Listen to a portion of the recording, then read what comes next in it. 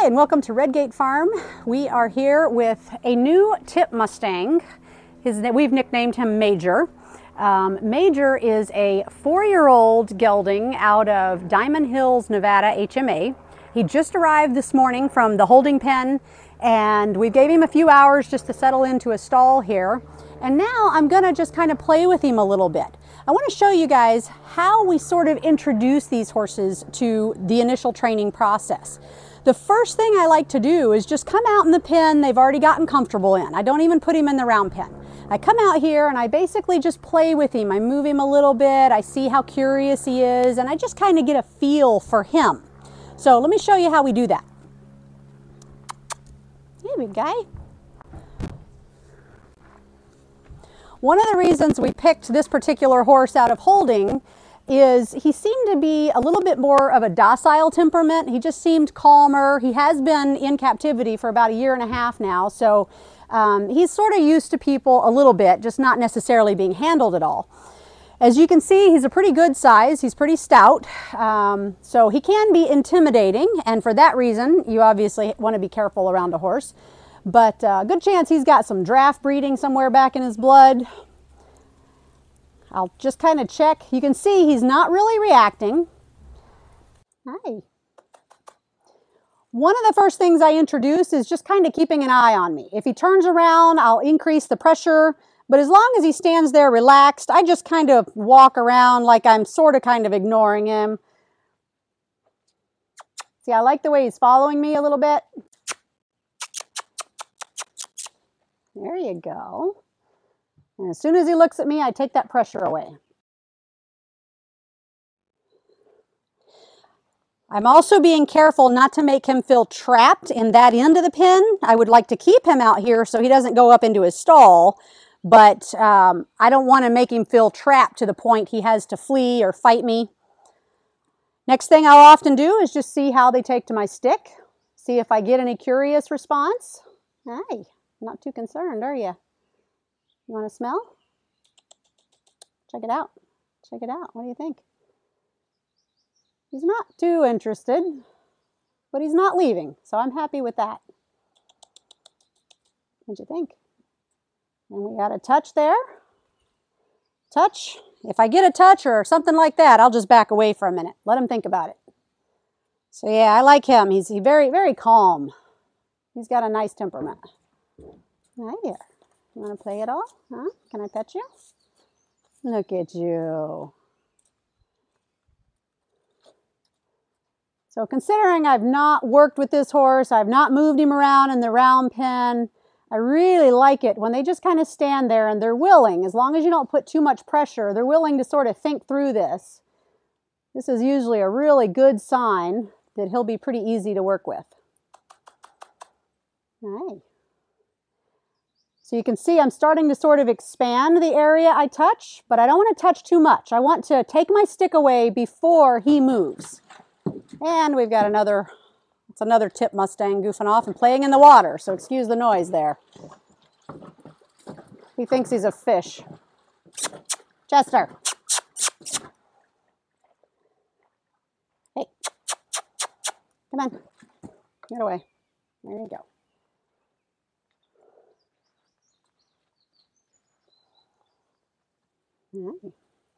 I want you to also notice how passive my body is. I'm not looking him in the eye. I'm just sort of sidling up to him. I'm not being sneaky by any means, but just letting him know that I'm not a threat. I'm not coming at him head on. I'm not glaring at him like a predator.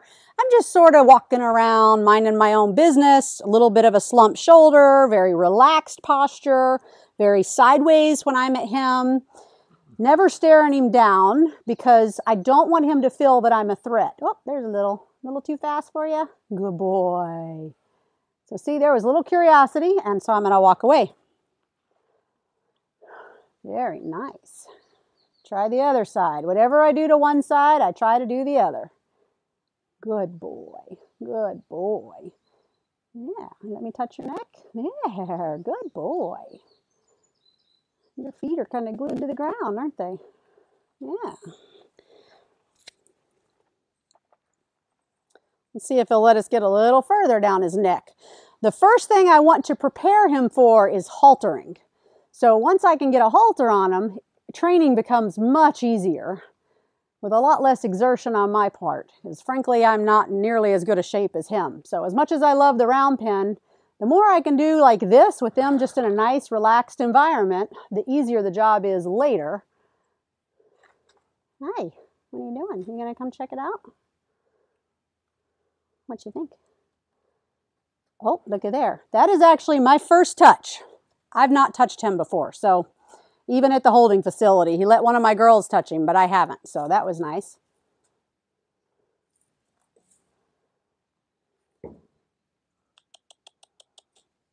Hmm, Come on, try it again. Try it again. Yeah, look at there. The closer I get to his body, the more threatening, threatened he's going to feel. So once I get a touch, a lot of times I go back to my stick and I work my way further back but I don't want to threaten him into moving off real quick. So I just kind of keep transitioning back and forth. And while he's learning to accept my presence, he doesn't realize I've also introduced him to de the desensitizing process. So he's getting used to my stick. He's learning not to fear my stick. Right? The stick is simply used as an extension of my arm right now. It lets me touch him and scratch him. I press pretty hard, so like right now, he's got a horsefly on his shoulder. So I can scratch him pretty hard. It feels good, and the stick becomes a friend to him, not something to fear. Here. I know that fly. He's a pesky thing, isn't he? What are you doing? What are you doing? I love to see this. When I get a horse that's kind of curious and they want to reach out and sniff and smell, always makes training easier when they're curious about learning and what you're doing.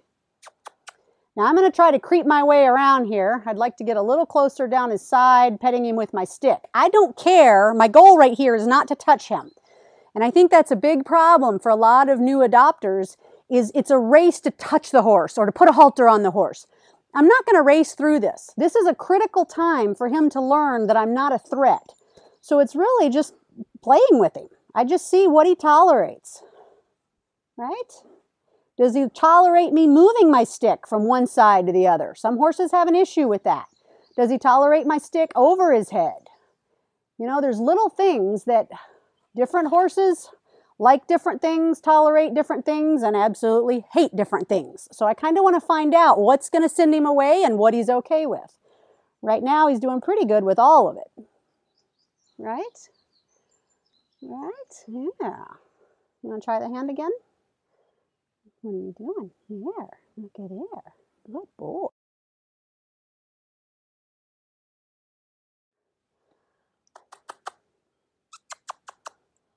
Good boy. Job. Good job. Okay, we're going to try and see if he'll tolerate the stick on his side. This is a different angle. And if he moves forward, I'm simply going to calmly try to cut him off and send him back to this area. This is going to become his place of rest at the moment because it's wide enough that he can move, but not so narrow that I'm going to get myself hurt. What do you think? What do you think? This is a nice opportunity to check out his legs. Some horses, if they're going to be really kicky and have that strong tendency, then they're going to kick at my stick. And it kind of lets me know how on guard I need to be as I get around his legs later. Whoops. So we're just going to send him back. So he wasn't too crazy over that. Good. When he stands nice and still, I'm going to go back to a level he was comfortable at. And just kind of start the process again. Good. Back away.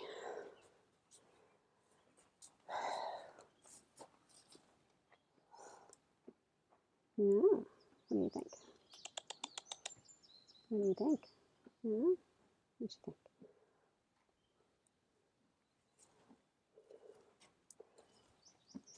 So he's a bit nervous right now. His respiration's increased a little because I've gotten closer to his side.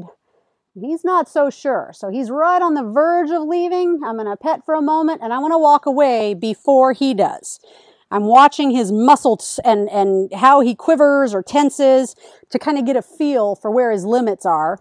And my goal is to move away before he does. That way he knows I'm not going to corner him or hurt him.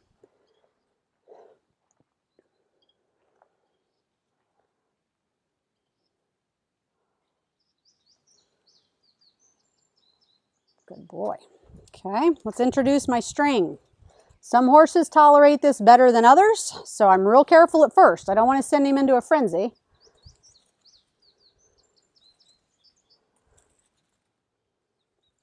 He's watching it, but he doesn't seem too concerned. For whatever reason, most horses seem most comfortable with it touching their backs first. That's one of the least guarded areas I've found. Anywhere else may make them jump or run off, but for some reason the back they often tolerate fairly well. They may move off, but not usually too fast. So I kind of start with the back shoulders area and then move around from there. This is letting him feel something on both sides. I'm standing on one side, there's something moving on the other side as it flops over, rubs him on his side over there. Boy, those flies are getting me, aren't they? Now I'll touch his leg. Just kind of let it, it's almost like an accident. I just sort of let it bump his leg. See what happens. And he didn't, he didn't respond, so that's a good sign. He didn't kick at it. He didn't panic about it being back there. He's just kind of letting it bump him, almost like it's his tail. So that's an excellent sign that he's probably not going to be much of a kicker. He's not extremely reactive about anything, so this is really good. I'd like to do the other side, if we can move him off this fence. Can you move over? I want over here. Yeah. I find that every horse is a little more protective of one side than the other. So because he's been so open and accepting on his left, or I'm sorry, on his right, he's going to be a little more protective of this left side. He's more likely to turn away from me that way. He wants to guard it instead of opening it up to me. So it just means we'll have to get a little more creative and spend a little more time working over here to get him comfortable, right? Right? What do you think? You gonna let me over there? You're not leaving enough room for me to squeeze through. No, you're not. Okay.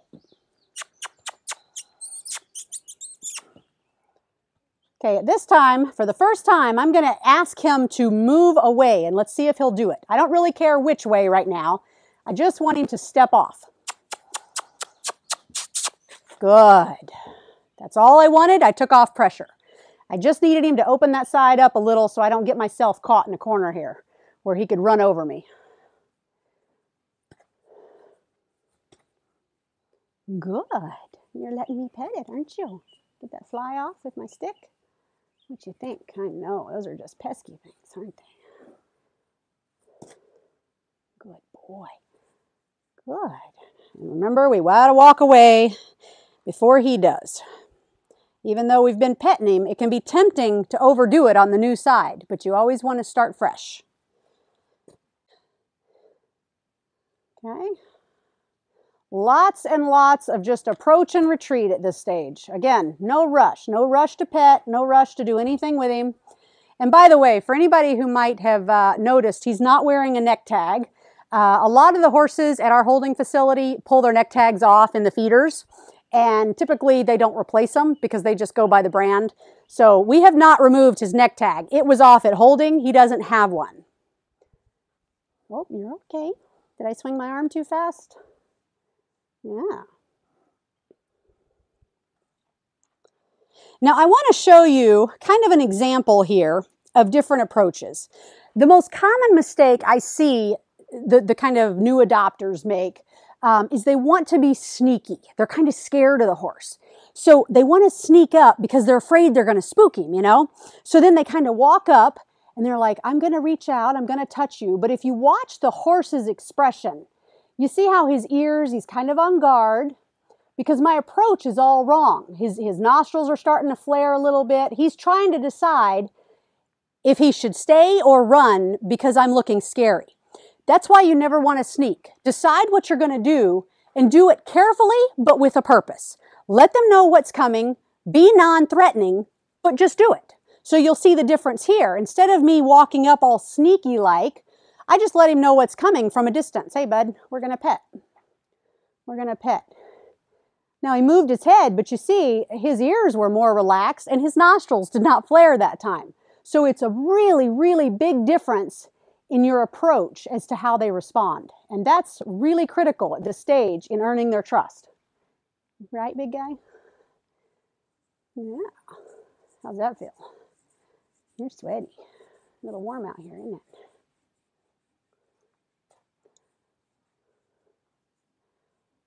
All right. Well, I'm actually going to call this good for this session. This is his first session. At this point, I like to put him out in the round pen, so we'll move on to the next stage. But for this session, I've gotten a feel for him. I've seen he's really not flighty and not reactive as long as you don't push him too fast. I've also introduced myself and my stick and the fact that we are not threatening, we're not going to hurt him. One of the really big advantages of using this method just in this relaxed environment you know, today it's like 91 degrees and humid here. You can see he's a little sweaty just standing here. So am I.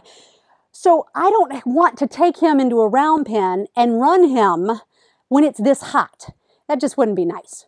So doing it this way, he can stay cooler, I can stay cooler, and we can use the round penning a little later, maybe at the end of the day when I don't have as many hours, but now we'll be able to progress faster because he's got that basic understanding and it's cooler. So stay tuned. We'll have the next session coming up.